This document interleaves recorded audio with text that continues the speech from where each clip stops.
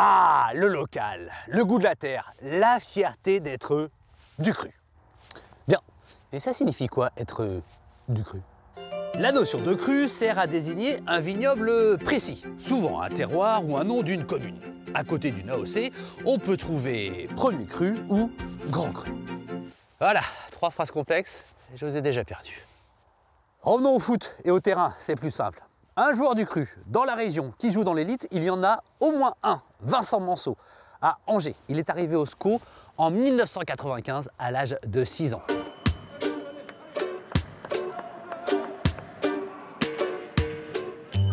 Aujourd'hui, il y joue toujours. C'est simple, c'est le troisième joueur le plus capé de l'histoire d'Angers.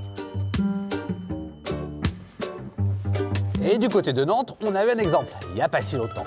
Abdoulaye Touré, qui a grandi dans le quartier euh, de Malakoff, avant de passer par Vertou, et d'atterrir dans la Maison Jaune à 12 ans. Après plus de 10 saisons au FC Nantes, l'été dernier, il quitte la région pour l'Italie.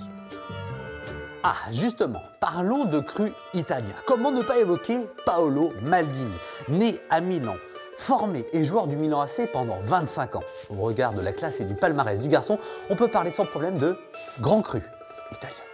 Ah, et foot, quel mélange savoureux. Hmm, D'ailleurs, ne dit-on pas, il a sacrément vendangé. Ou encore, ah, ils ont ramassé une sacrée piquette. Alors je vous laisse sur cette question. Le joueur de foot est-il comme le bon vin? Se bonifie-t-il avec le temps?